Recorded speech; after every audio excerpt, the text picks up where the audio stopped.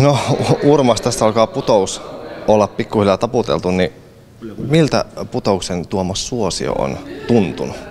Ai, no mä ei, mun on pakko sanoa, että mä olen saanut aika hyvin Tallinnan puolella kyllä olla ja rauhassa, mutta täällä Suomenmaassa niin alkaa puhelin soida kauheasti, ne asiakkaita kyselee ne vinkkejä.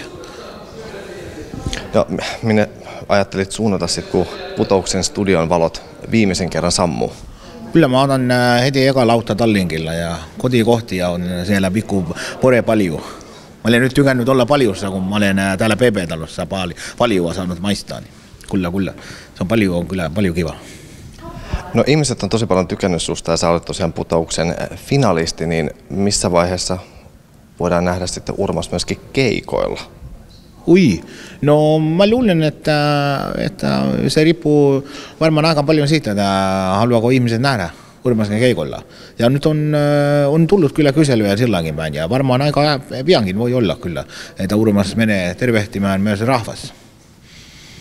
No millaisia tämmöisiä sijoitus- ja talousvinkkejä sä haluaisit antaa Seiskalukijalle? Mitä kannattaa muistaa? Oi, no tämä on hyvä. Äh, kun sä ostat Seiska-lehti, niin äh, sun täytyy aina muistaa, että alvi pitää maksaa aina. Tämä on jo, mikä suomalaiset on oppinut kyllä hyvin, kyllä hyvin. Mutta toinen asia on, että sä voit laittaa sen myös kirjanpitoon. Kyllä, kyllä. Se on kirjanpito, silloin se on sulle opetusmateriaali, kun kaikki menee verotukseen, kyllä, kyllä. Kysy vain, Urmas tietää. No mikä on ollut Urmas sulle paras putousmuisto tai paras putoushetki? se on niin asu, kun suomalaiset aina kysyvät, mikä on paras muisto. Ja mä itse sanon, että tämä koko putous on ollut hieno matka ja siitä tulee hieno muisto Urmaksen uralle. Ja mä en voi sanoa oikeita nimiä, mutta sellainen selonsaija on ollut kyllä lähellä ää, muistossa kanssa.